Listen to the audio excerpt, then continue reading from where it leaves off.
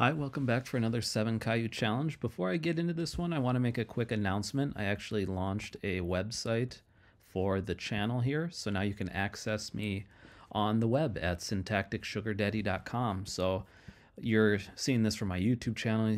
You probably are already aware of this part. Um, I suppose the biggest takeaway is that I just started a blog, so I'm going to start writing articles about topics that um, hopefully are helpful for uh, beginners to understand concepts, get them moving faster.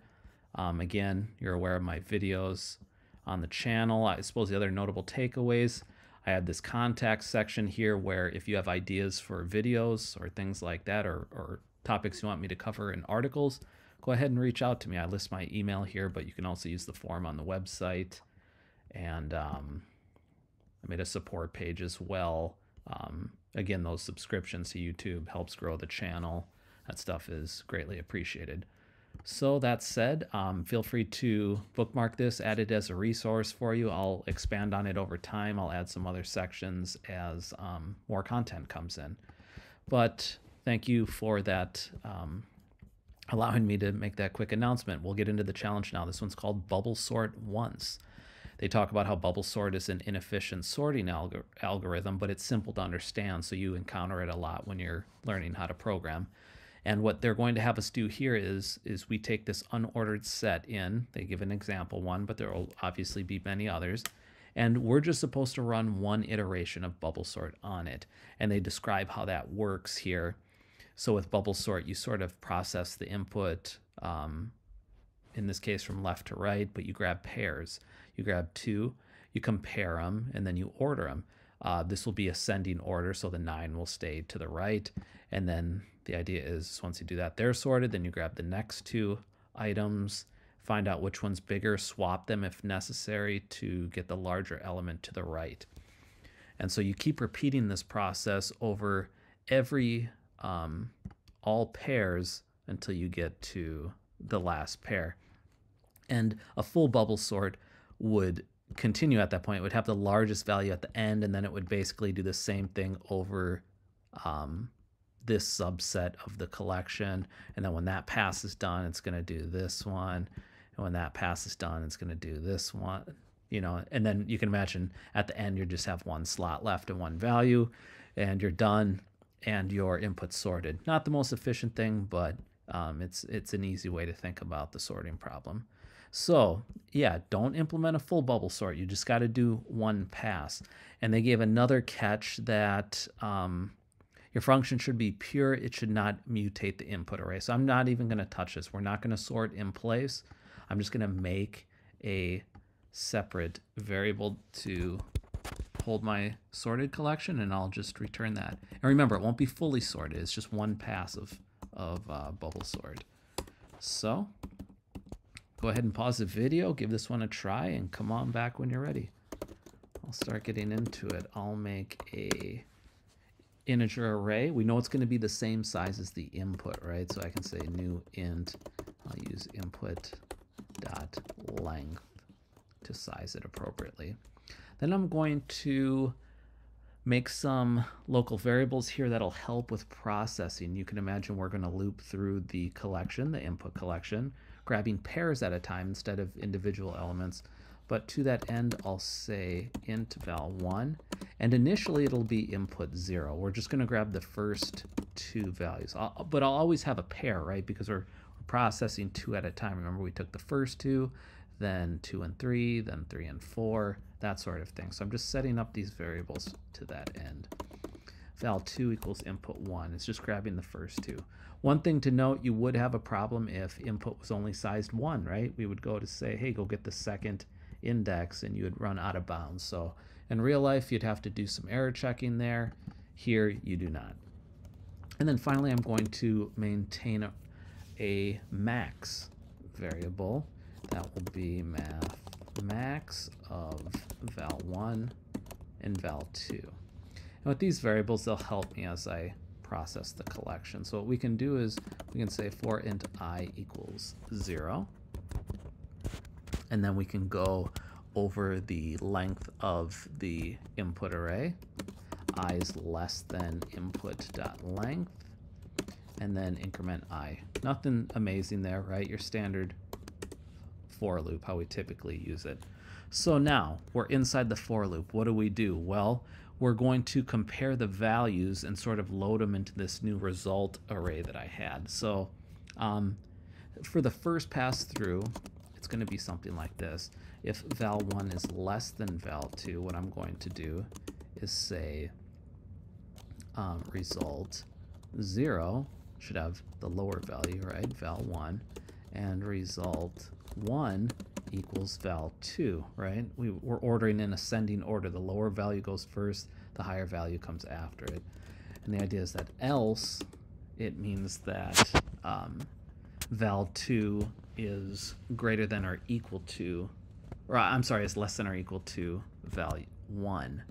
So we'll handle that as well. We In that case, we can say, we don't really have to worry about them being equal, but that case would be covered here. So result 0 equals, it's just inverted, right? You'd say result 0 is val 2, and result 1 would be val 1. See, it's the same thing, we just inverted it. Val 2 and val 1 are switched around based on which value is lower.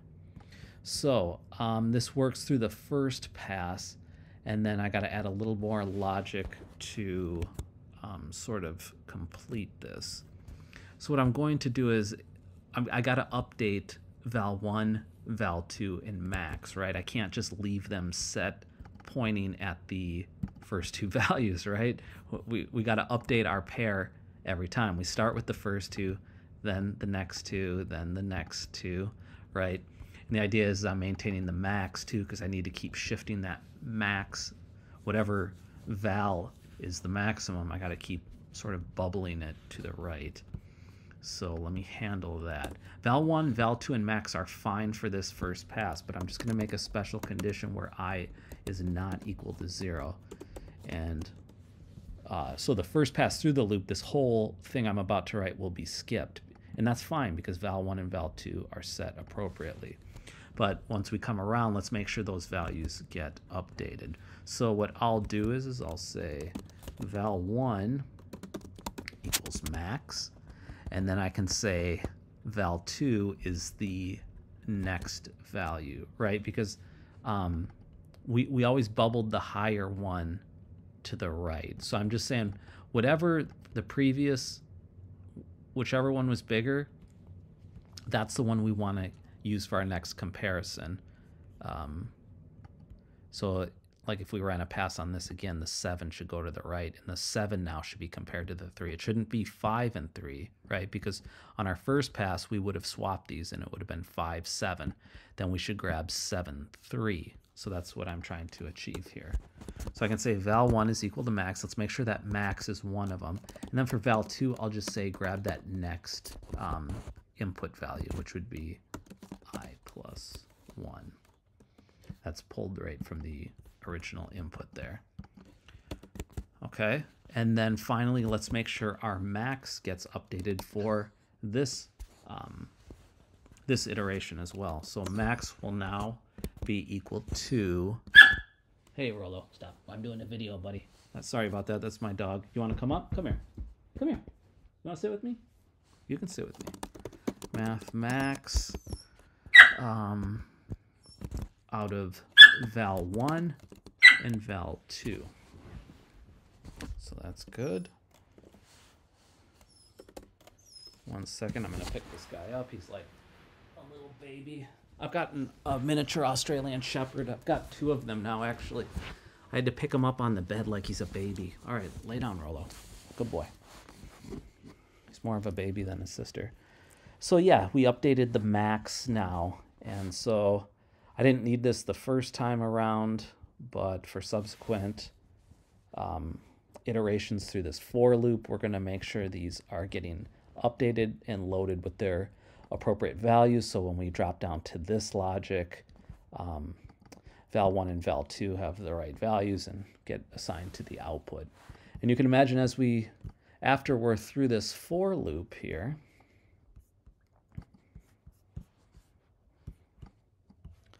After we're through this for loop, it's a matter of simply returning the result. So provided I typed everything right, something like this should work fine. And I just made a whole new result so I didn't mess with this at all. They seem to be warning about that. But clearly in some of these recent challenges you've seen me do, um, they don't always enforce their rules. So maybe I, I didn't even need to do that. But I was trying to be a sport and play along. So I'm going to go ahead and uh, test. Let's see what we get here. Okay, it looks like I hit some errors. And the name math does not exist in the current context. That's fair. I used math max, but I didn't define math. Do you remember how to bring math in? Hopefully you remember you have to bring in the system namespace to access the math class. Let's try this again. Okay, index was outside the bounds of the array. Um, so I definitely messed something out there. Let me see what I did. Do a quick review. Oh, I see what I did. I did um, to input length, right? So remember, uh, arrays have zero-based indexing. If I go to the length, I'm actually running one past the size of the array. So plus one for you if you caught that.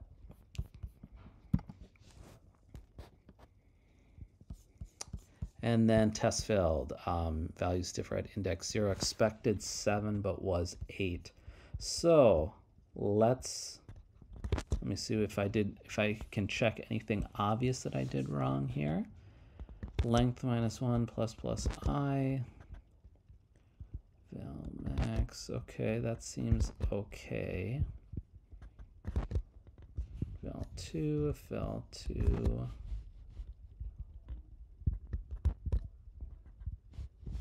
Oh, yeah. So again, wow, what a mistake. We don't want to hard code these values, right? That was fine for the first iteration, but we want these to apply all through the loop. Sorry about that. Good job, plus one if you caught that too. So we want to reference the current index value and not um, not hard code those values, right? That sort of defeats the purpose of using the loop. So let's try that. I'm just keeping you on your toes, that's all. So green and green. Good. We are clear for submission. Um, put this out. I don't think there's any fluff to remove. I didn't use any comments, but uh, feel free, or I should say write line statements. If you are getting weird output, make sure you're adding those console write lines and check the states of your variables while your code is running. You can get that printout, and then that's how you can make um, decisions and figure out where you went wrong. But I'll just go ahead and submit mine like this. I'll escape out. And yeah, I'll put this back to size, green, and submit. Go ahead and collect those honor points. I'm up to 1627 now. Very good. So this is cool. This is different. You can go through these solutions, find what else. Oh, look at this. I made number two on the list. Look at that. Internet famous. But yeah, go ahead and look through these, see what you can learn from other people too. So we got a little bit of variation here. Um, I will leave you to that. Otherwise, you know where to find me. Go ahead and tell me in the comments what kind of dog you have. I'm sorry about uh, baby Rolo with his little whiny yapping there. But uh, yeah, let me know what kind of dog you have too. I will see you in another video. Thanks for watching.